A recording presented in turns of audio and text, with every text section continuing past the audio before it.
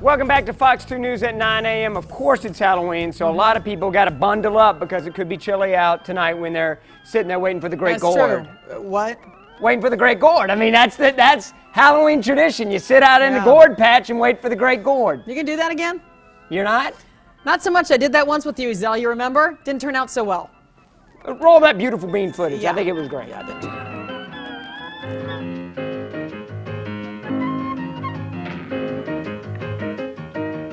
had told me on Halloween night I'd be waiting for the Great Gourd, I would have told them they're crazy. Just think, Sally. We'll be Tim, able to. the name's Margie.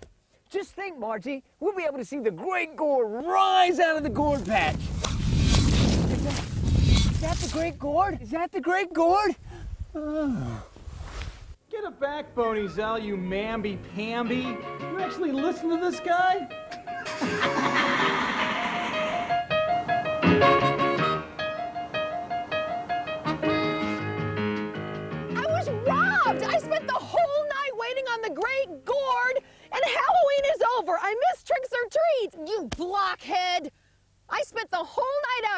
on the Great Gourd, and all that showed up is a bodiless meteorologist! This is all your fault. I'll sue! What a fool I was! I could have had candy apple and gum and ice cream bars, and you know how much I like ice cream. Who hands out ice cream? But no, I had to listen to you, you blockhead! I miss tricks or treats, and it only comes once a year! I spent all night in a pumpkin patch with a blockhead!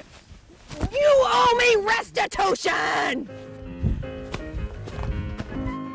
Sally, aren't you gonna It's wait? Margie, you blockhead!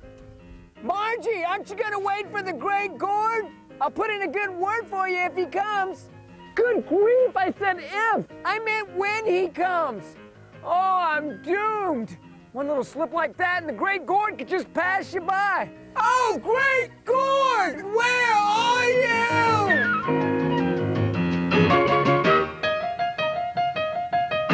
coming this year. I, I, I feel it. I feel it in my bones. I feel it in my hammer pants.